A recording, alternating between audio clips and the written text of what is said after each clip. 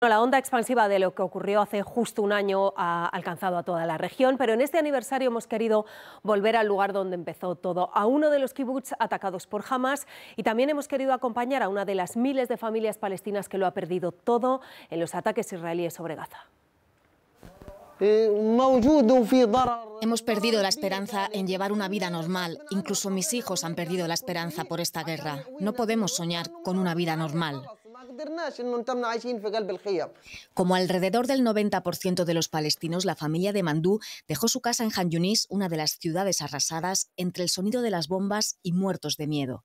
Meses después de malvivir en la tienda de uno de los campos de desplazados de la franja, decidieron volver. Pero volver a dónde? Cuando llegamos no fuimos capaces de reconocer ni el barrio, ni nuestra calle, ni siquiera sabíamos cuál era nuestra casa, dice su mujer. Porque no queda prácticamente nada, apenas unos ladrillos sobre los que sentarse, ni nadie. Donde antes se escuchaba vida, ahora solo el ruido incesante de los aviones arriba y los escombros crujiendo bajo los pies de las pocas personas que han decidido regresar abajo. No quería dejar mi casa, pero la muerte se estaba acercando al barrio, cuenta Mohammad, otro vecino. No se equivocaba. La muerte llegó y se quedó. Me puse muy contento cuando nos enteramos de que el ejército se había ido y podíamos volver, pero todo ha desaparecido. No tengo ni unas chanclas que ponerme en los pies, se lamenta Mohamed. Sus amigos tampoco están ya. Esto ahora es un pueblo fantasma como en las películas, pero no volveré a ser un desplazado, me quedaré aquí, entre las ruinas de mi casa, dice Mohammad con una extraña tranquilidad, la de saber que no hay futuro ni para él ni para sus vecinos. Y concluye, ya no estamos vivos. Fueron los peores atentados en la historia de Israel. Muchos de los 1.200 asesinados estaban en poblaciones junto a la franja, los conocidos kibbutz, como este de Farasa, donde un año después siguen presentes las huellas del horror.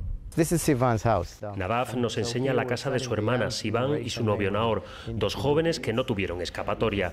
Los impactos de las balas, las granadas, las fotos posteriores reflejan la masacre. Los jóvenes se ocultaron en esta habitación, utilizada como refugio.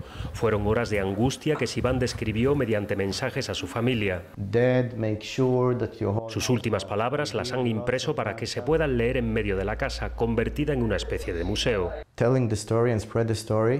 para explicar al mundo lo que sucedió y que no se repita. Nadav respalda la respuesta que está dando el gobierno israelí, pero reconoce que hubo gravísimos fallos de seguridad. El ejército tardó en llegar y los terroristas estuvieron cuatro días atrincherados aquí hasta que fueron eliminados. Un año después es imposible olvidar lo que sucedió aquel 7 de octubre, los brutales asesinatos y también a los rehenes que siguen en la franja de Gaza. Algunos vecinos de este kibbutz Farasa. Las autoridades israelíes aseguran que quedan todavía en la franja 100 rehenes, pero considera que 35 de ellos ya han muerto. En algún lugar en Gaza, al otro lado de esta valla por la que entraron los terroristas. Nadav desea que sean liberados, pero en su caso culpa a Hamas de que no haya acuerdo. Sin embargo, la mayoría de las familias de los rehenes y buena parte de la comunidad internacional creen que Netanyahu prefiere la guerra a cualquier pacto.